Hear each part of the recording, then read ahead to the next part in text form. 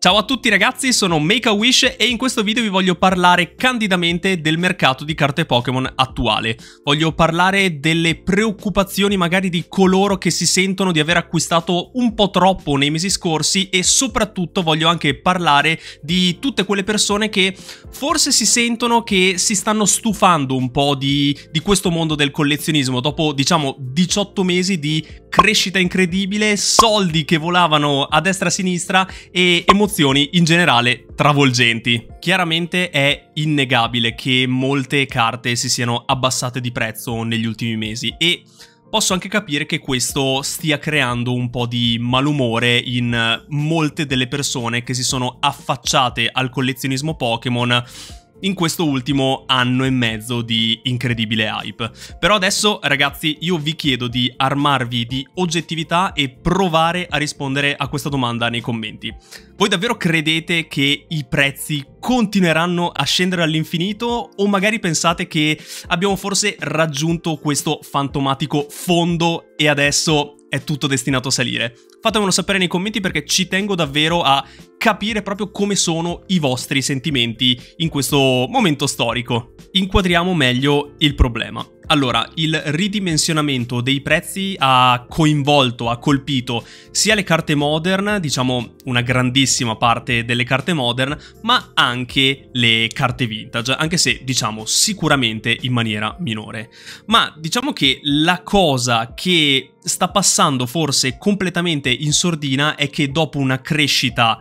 totalmente innaturale una, una, caduta dei prezzi era prevedibile e sicuramente auspicabile. E tra l'altro, se ci fate caso, le carte che hanno perso maggior valore erano quelle, tra l'altro, che erano acclamate come se fossero i migliori investimenti e gli investimenti più, appunto più sicuri. Diciamo quelle praticamente che avevano tutti gli occhi puntati addosso. Mi vengono in mente per esempio beh, i Charizard set base gradati, quelli sono davvero calati a picco, poi c'erano anche i, i, i Pikachu giapponesi dei Pokémon Center esclusivi, quelli sembravano i, nu dei nuovi lingotti d'oro quando in realtà se prendiamo proprio come esempio singolo il Pikachu Kanazawa che all'uscita riusciva a vendere addirittura a 70 euro e adesso i prezzi si sono davvero dimezzati, è possibile trovarlo ben al di sotto dei, dei, 40 euro, dei 40 euro. E diciamo che come questi ci sono tantissimi altri esempi, ma dove non batte la luce dei riflettori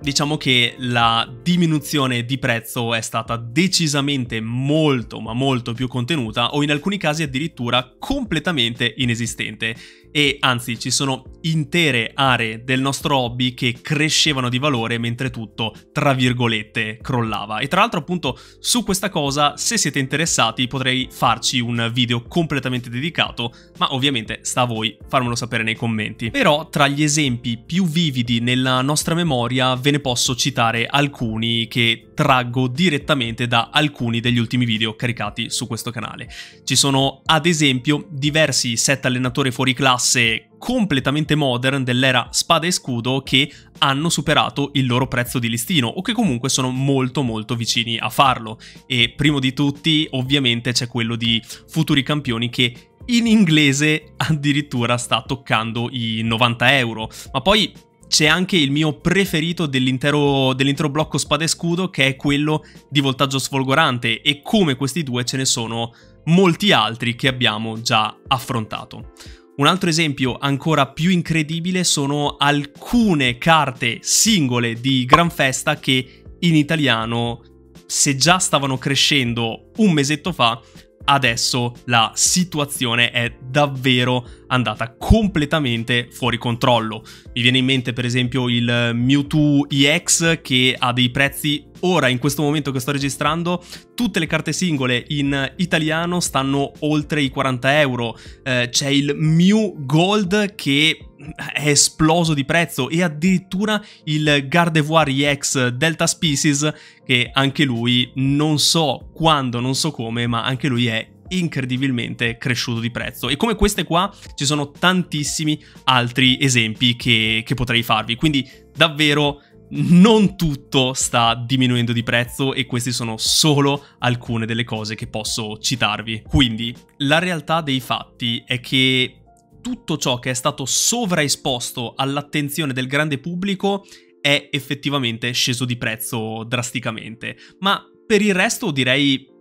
direi proprio di no. La verità è che tutto ora è molto più calmo e questo è poco ma sicuro, non ci sono più carte o prodotti che esplodono di prezzo dal giorno alla notte, ma non per questo direi che la situazione è assolutamente orribile. E anzi,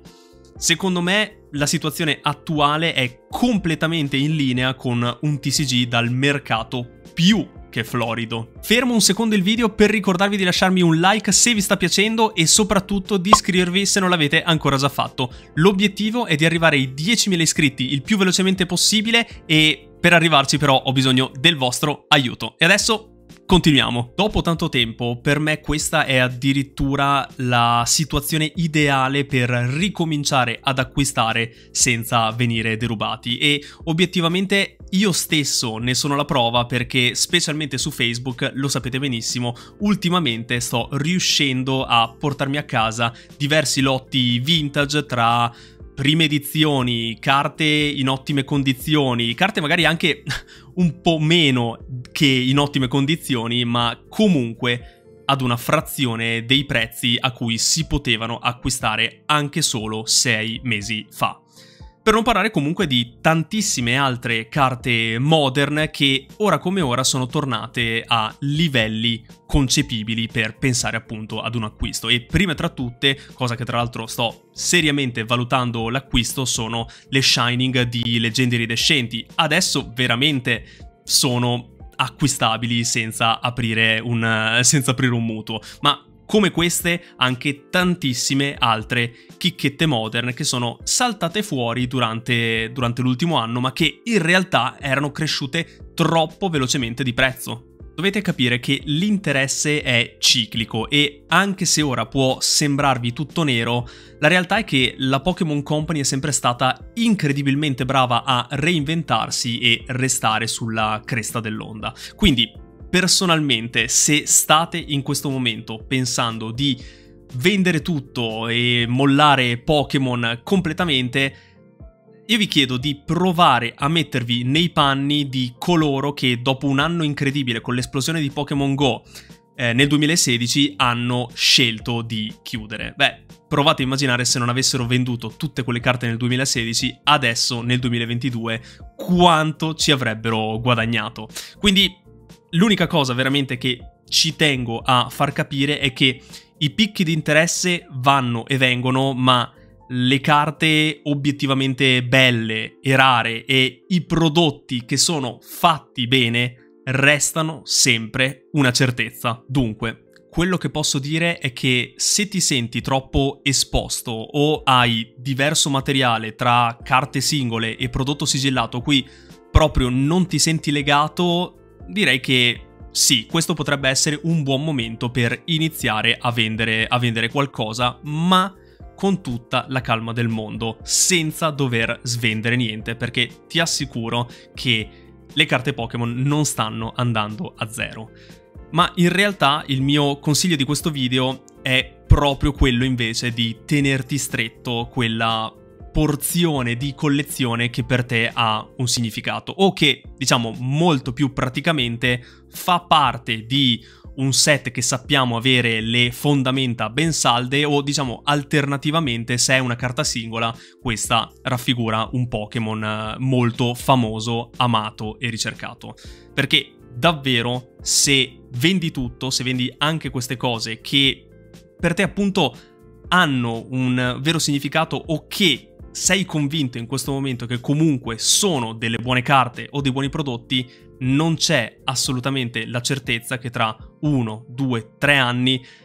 sarà ancora così facile poterli riacquistare. Molto bene ragazzi, non so voi, ma un video così molto discorsivo con il cuore in mano secondo me ci stava proprio, anche perché mi sentivo in dovere di rispondere a questo pessimismo che gira nell'aria eh, e addirittura appunto in risposta a tutti coloro che forse stanno cercando di tirare giù ancora di più il mercato, forse magari per un guadagno personale. Io in generale tutte le mie idee ve le ho dette, fatemi sapere quello che ne pensate il mercato Pokémon non sta assolutamente male e solo perché non c'è il guadagno incredibile e le esplosioni di prezzo nel giro di 24 ore non significa assolutamente che tutto stia andando male.